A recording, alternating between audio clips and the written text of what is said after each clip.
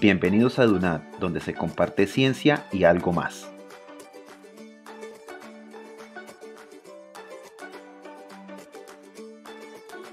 El sistema reproductor masculino. Los órganos sexuales masculinos se encuentran en la cavidad abdominal.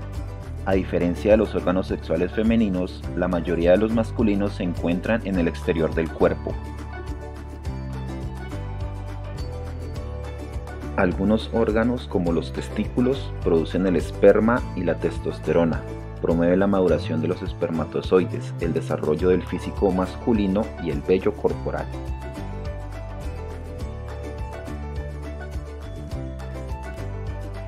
El epidídimo es el encargado del transporte, el almacenamiento y maduración de los espermatozoides para desarrollar su movilidad y la capacidad de fertilización.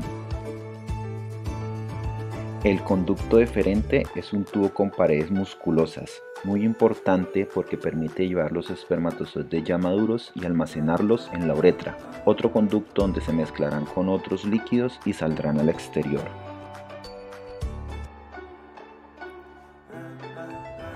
La vesícula seminal es la encargada de liberar un líquido blanco muy rico en fructuosa. Esto va a permitir que los espermatozoides se puedan nutrir.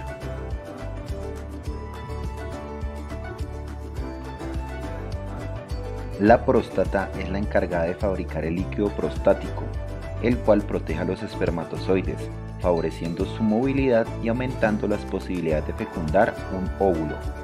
Junto al líquido seminal, los espermatozoides van a formar una sustancia viscosa denominada semen. Son los órganos externos del aparato reproductor masculino. El escroto es una cubierta de piel y tejido muscular liso que contiene los testículos y el epidídimo. Permite mantener una temperatura adecuada para los testículos. El pene es una estructura sexual masculina formada por tejido esponjoso. Además de su función reproductiva, sirve para vaciar la orina. El glande es la estructura bulbosa en el extremo distal del pene. Y finalmente, el prepucio es un pliegue de piel de doble capa que permite cubrir y proteger el glande cuando el pene no está erecto. Características sexuales secundarias del hombre.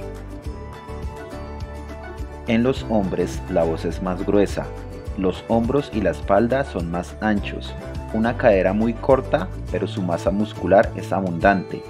Tiene vello púbico y axilar y también se caracteriza porque presenta vellosidades en todo el cuerpo. Y normalmente son más altos que las mujeres. Recuerda suscribirte, dejar tu like, comentar y compartir el conocimiento.